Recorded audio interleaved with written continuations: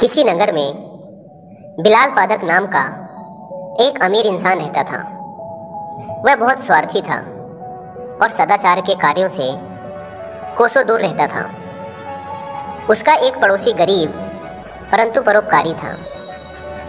एक बार पड़ोसी ने भगवान बुद्ध और उनके शिष्यों को अपने घर पर भोजन के लिए आमंत्रित किया।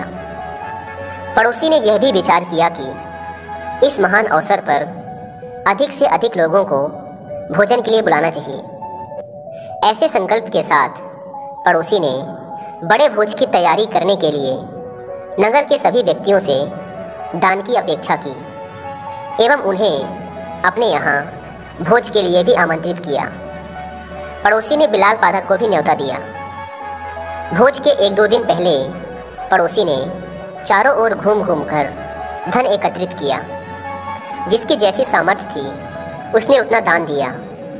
जब बिलाल पादक ने पड़ोसी को घर घर जाकर दान की याचना करते देखा तो मन ही मन सोचा, इस आदमी से खुद का पेट पालते तो बनता नहीं। फिर भी इतने बड़े भिक्षु संघ और नगर के सभी लोगों को भोजन के लिए आमंत्रित कर लिया है।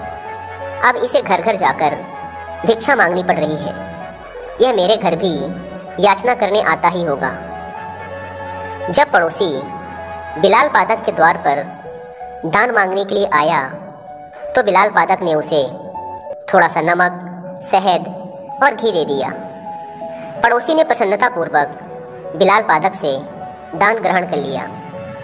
परंतु उसे अन्य व्यक्तियों के दान में नहीं मिलाया, बल्कि अलग से रख दिया। बिलाल पादक को यह देखकर बहुत आश्चर्य हुआ कि उसका दान सभी के दान से अलग क्यों रख दिया गया। उसे यह लगा कि पड़ोसी ने सभी लोगों के सामने उसे बेज्जत करने के लिए ऐसा किया है, ताकि सभी यह देख सकें कि इतने धनी व्यक्ति ने कितना तुच्छ दान दिया है। बिलाल पादक ने अपने नौकर को पड़ोसी के घर जाकर इस बात का पता लगाने के लिए कहा। नौकर ने लौटकर बिलाल पादक को बताया कि पड़ोसी ने बिलाल पादक की दान सामग्री को थोड़ा थोड़ा सा लेकर चावल, सब्ज़ी और खीर आदि में मिला दिया है।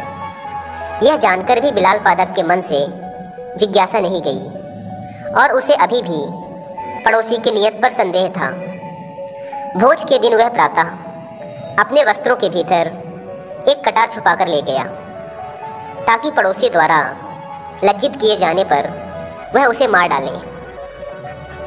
पर वहाँ जाने पर उसने पड़ोसी को भगवान बुद्ध से यह कहते हुए सुना, भगवान, इस भोज के लिए जो भी धन का संग्रह किया गया है, वह मैंने नगर के सभी निवासियों से दान में प्राप्त किया है।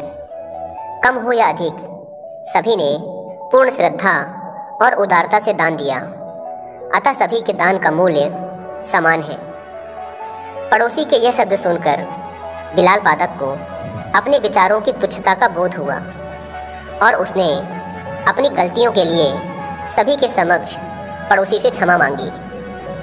बिलाल पादक के पश्चाताप के शब्दों को सुनकर बुद्ध ने वहाँ उपस्थित समस्त व्यक्तियों से कहा, तुम्हारे द्वारा किया गया शुभ कर्म भले ही कितना ही छोटा हो, पर उसे तुच्छ मत जानो।